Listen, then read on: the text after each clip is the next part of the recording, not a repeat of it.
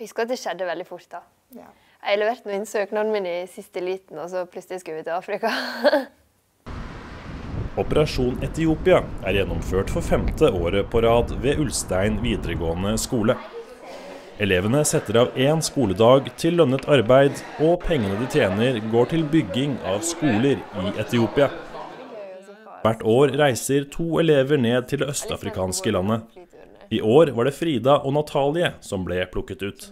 Jeg er kjempespent. Det har på en måte ikke helt gått opp for meg at vi skal fare ennå.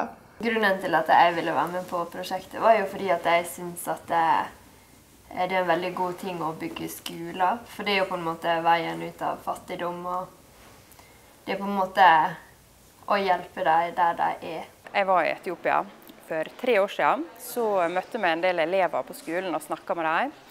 Og eh, da ble jeg veldig imponert over å faktisk få vite at det var elever som jobba og kjente pengene til dem, og at de ga en dag av sin skolegang for at de skulle få lov til å gå på skole.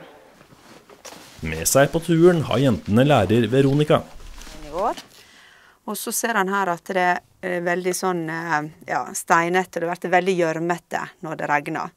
Eh, Så for å få litt bedre uteområde, så skal her brulegges da for pengene som blir samla inn i år. Hvert år når eh, elever og lærere reiser fra skolene her for å besøke prosjektet og filme og se hvordan det har gått, så eh, er det en offisiell åpning av det bygget som har vært gjort det siste året. Og da eh, er det folk fra myndighetene, der er elever, der er lærere, masse folk som er liksom en sånn høytidelig åpning. Og det har vært utrolig positivt. Jeg lurer veldig på hva slags inntrykk vi kommer til å sitte igjen med når vi kommer hjem igjen. da. Det er noe helt annerledes der nede enn det er her. Helt annen måte å leve på.